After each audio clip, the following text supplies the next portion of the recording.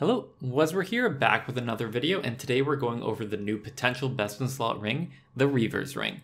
It's a new ring that came out with the Rex Matriarch update, and I was able to get my hands on one on day of release. You can make the ring by combining a Heart of the Berserker with 10 Berserker rings, with Berserker rings being about 10 mil each and the heart being about 5 mil. The total cost of the ring is about 105 mil at this point. Also note that the ring does not degrade, so there's no extra upkeep cost for using it. The ring has the same stats as the current Ring of Death at 27 style bonus for each style, but it also has a special effect that gives you a plus 5% increased critical chance at the cost of negative 5% accuracy. It's tough to exactly gauge how much DPS the plus 5% increased critical chance is, as it depends on a lot of factors like your precise perk rank, your equilibrium perk rank, whether you're using the Grimoire, whether you have biting, is that biting level 20, what abilities are you using, do you have greater fury, and how often do you use it? all those factors come together to give like a percentage increase for DPS for 1% critical chance, but roughly for every 1% increase in critical hit chance, it leads to a 0.6% increase in DPS on non bleed abilities.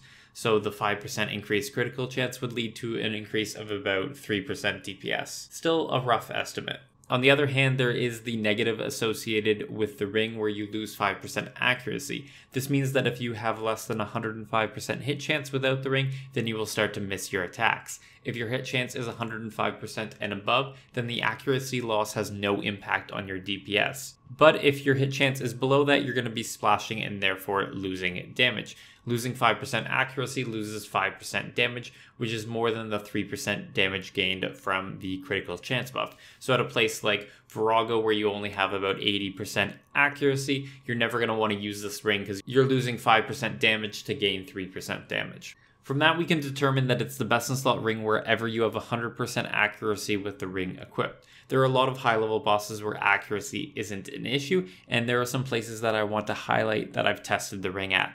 The first place I'm going to talk about is AFK Rathas. I've been doing a lot of this while working for my Rex Matriarchs log with a Slayer Task, T90 Prayer, Elder Overload, and the T92 Spear. I have more than enough accuracy to never miss. They're also increasing the affinity of the monsters on the next game update, so that means the accuracy is going to be even higher there. So I probably won't even need the Slayer Task to not splash.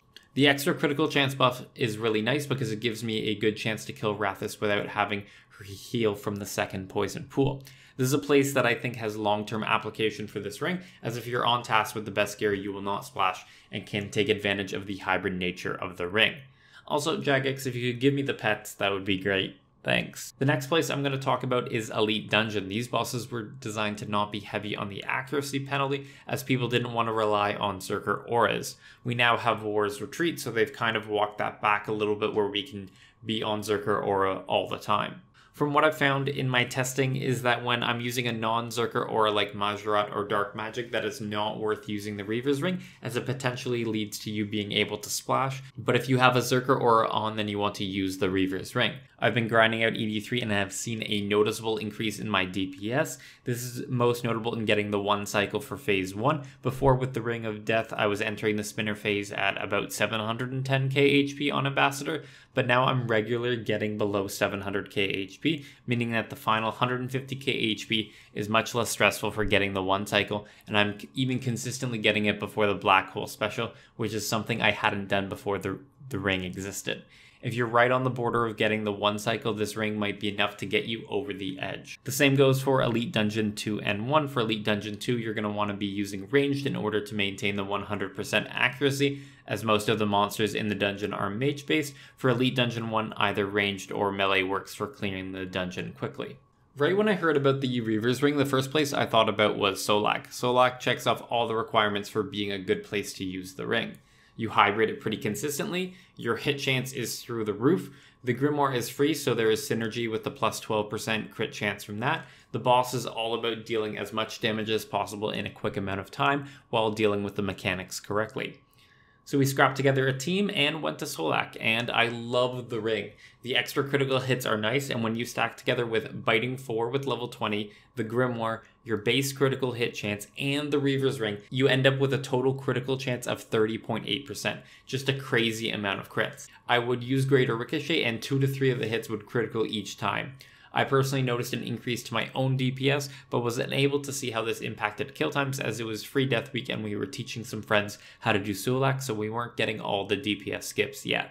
The one place where the ring is annoying is roots. For some odd reason, the roots in phase 1 have the highest defense of everything in the fight, and with Mahjarrat Aura on T92 weapons and T99 per, I was still splashing on the roots occasionally. So if you're going to use this ring and kill the roots, you're going to want a second ring to use for that part. For me, in my setup, I just kept my Ring of Vigor on, um, and that worked perfectly fine. But beyond that, it's the best in slot ring for Solak and the rest of the fight.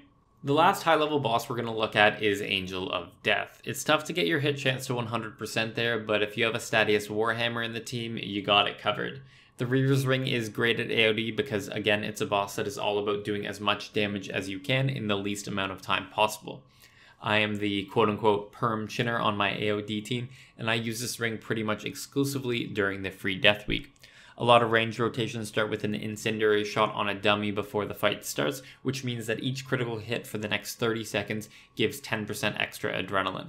If you combo that with the Reaver's Ring, that means you have an extra 5% chance to gain 10% adrenaline with each ability, and something like Greater Ricochet has multiple hits to crit and roll that 10% extra adrenaline. I noticed a large increase to my DPS as Chinner, and while I normally get between the third and fourth drop pile, I ended up getting between the second and third fairly consistently with the new ring. I would again call it the best in slot ring at AOD. If you've been paying attention, you'll have noticed that I've mentioned Free Death Week twice now, and deaths are a big deal with this ring, namely because the Reaver's Ring is a ring, which means it takes up the slot of the Ring of Death, and that means I can't use the Ring of Death to save me from death costs. And the death cost when you have a Ring of Death on is 30% of an Onyx, which is about 900k.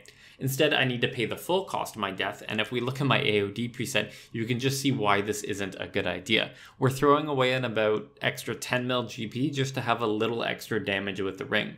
For people who never die, this might be a good idea, but for someone like me who dies every hour or two at AOD, it's not worth the 10 mil in extra death cost for the small increase in damage the extra kills won't pay for those deaths. This is also true for my Solak preset, my ED3 preset, and any other high level bossing preset I have. With that in mind, it doesn't mean that this ring is useless. There are still some places I would use it. First off, AFK Rathus, as long as I have a task or once the changes go through, perfectly fine to use and it speeds up my kills per hour. It's free, don't need to pay anything. Perfect.